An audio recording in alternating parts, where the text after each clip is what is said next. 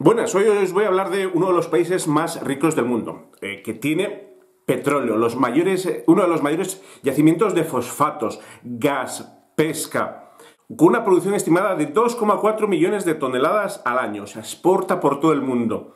¿Y de qué país hablamos? De Marruecos.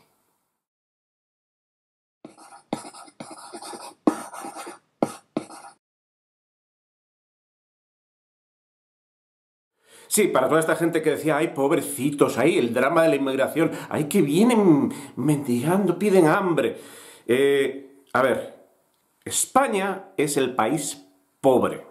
Ya sé que la gente no lee, y como no lee pasan estas cosas. España es el país pobre. España no tiene nada. España, eh, ¿qué tiene Canarias?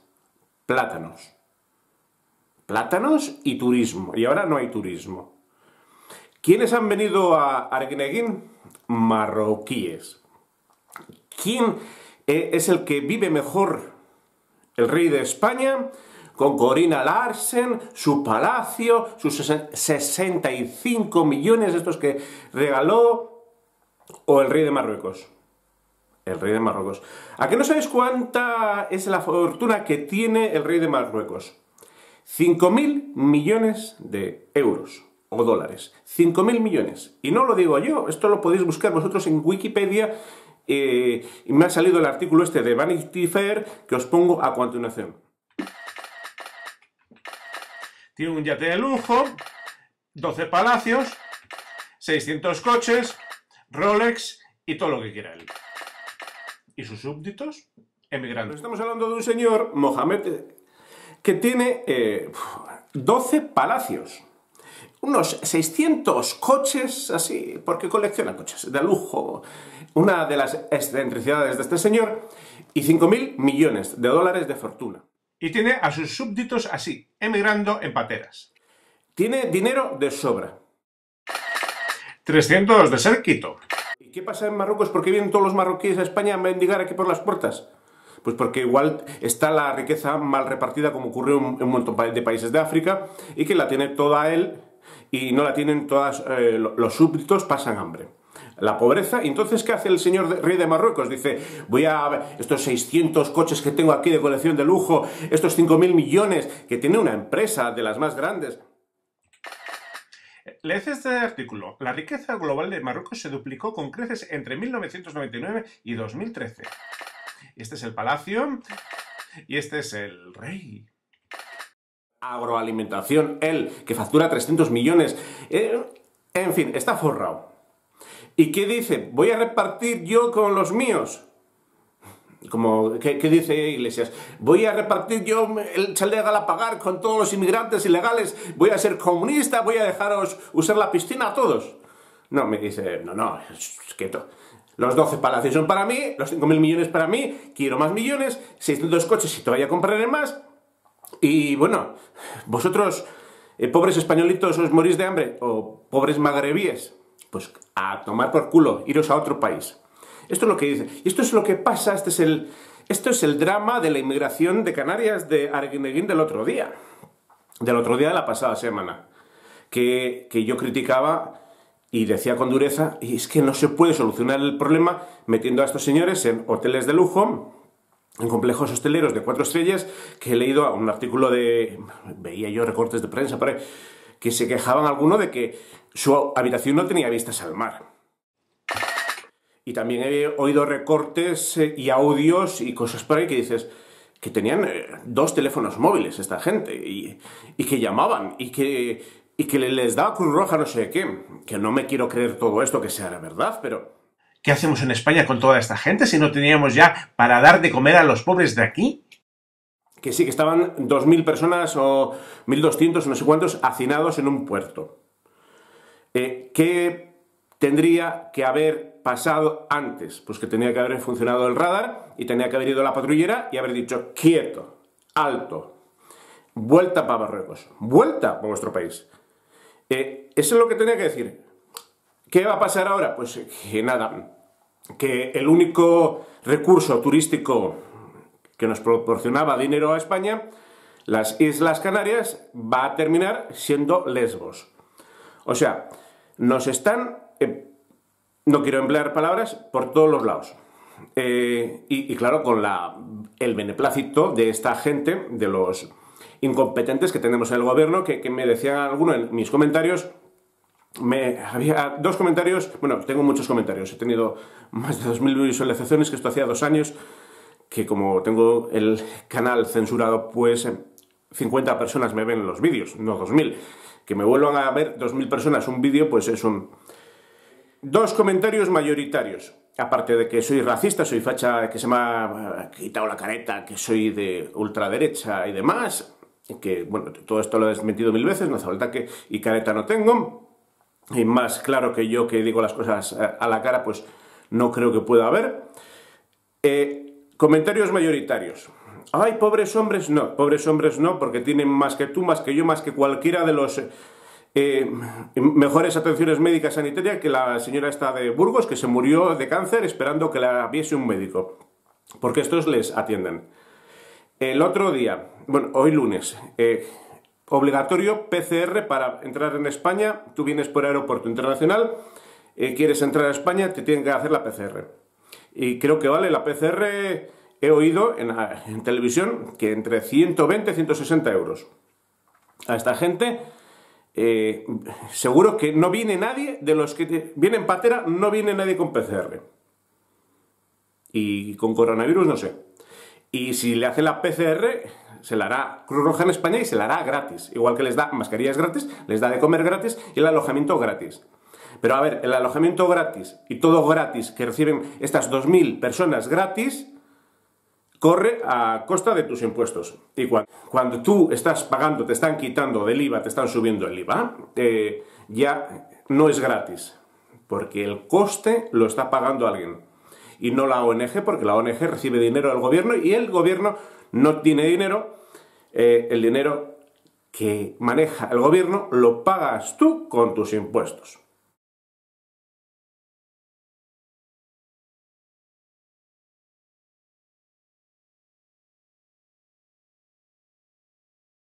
¿Solución al drama de la inmigración ilegal? Pues no es lo que quieren solucionar en Canarias. Ay, pues eh, no, me acuerdo cómo se llamaba la ONG esta que salía en Ana Rosa por la mañana. Eh, de, refugiados. A ver, estos señores no son, no son, refugiados porque no hay guerra en su país, porque vienen de Marruecos. Que por cierto, Marruecos, Marruecos extorsiona, chantajea a España de dos maneras muy... Bueno, primero por recursos nuestros, como España es pobre, vamos a ver si entra en la cabeza de la gente.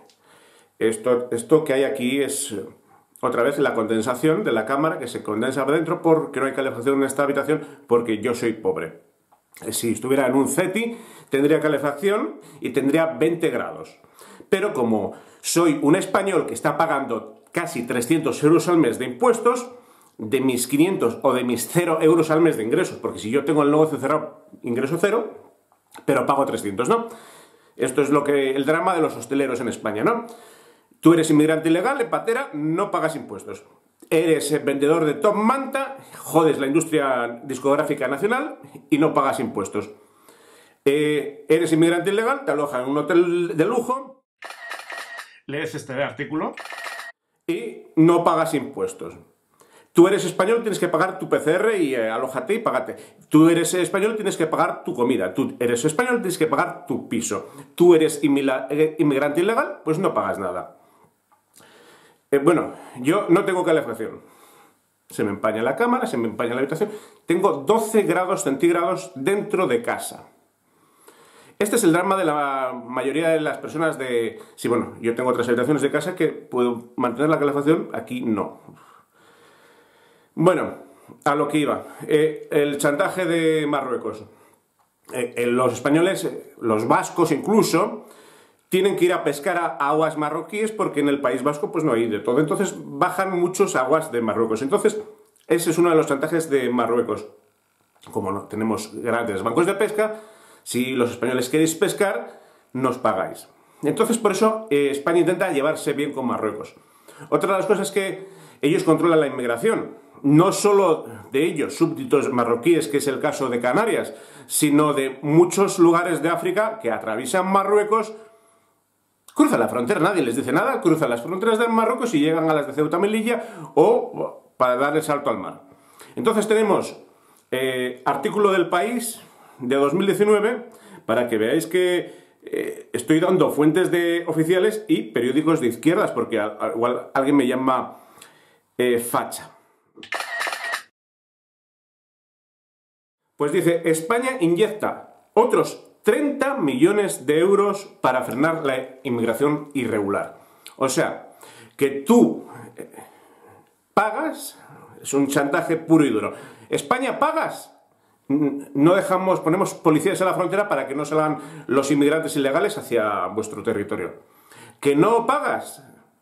Yo soy rico, tengo 5.000 millones, vivo 12 palacios, 600 coches, es algo en las revistas internacionales de los mayores ricos del mundo, ¿no? Pero, pero te hago chantaje a ti, eh, ciudadano español, rey de España, etcétera. El gobierno de España, presidido ahora por Pedro Sánchez y Pablo Iglesias, el del chalet de la Galapagar, ¿no?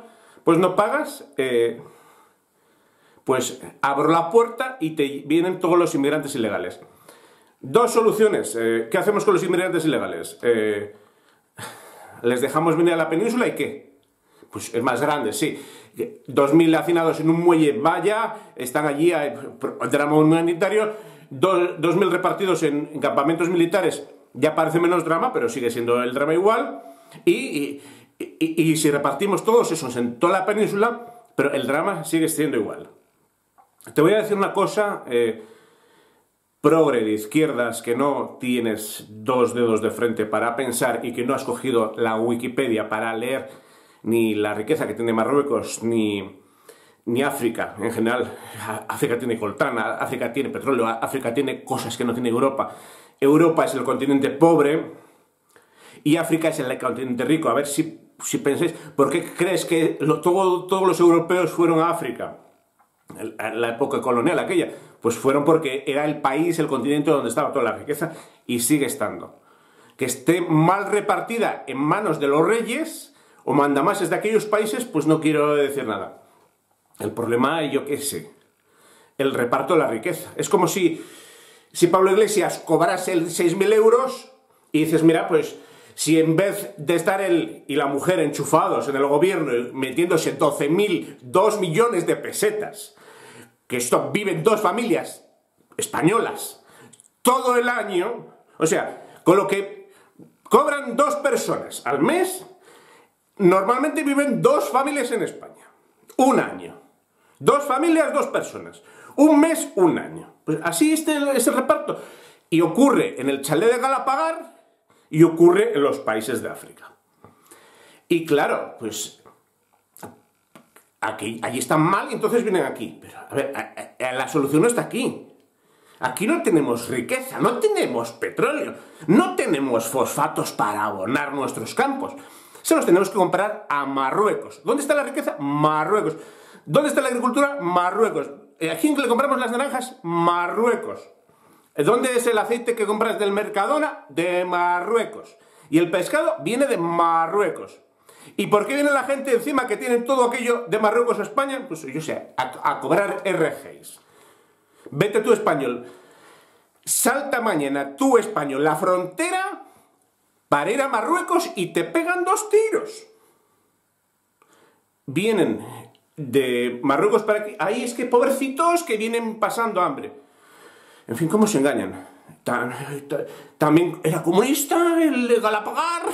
¿O siguen engañando más? Si te gusta nuestro canal y quieres seguir viendo más vídeos como estos, suscríbete. Es gratis y YouTube te avisará cada vez que subamos un vídeo. Y si te ha gustado este vídeo, dale un like. Muchas gracias.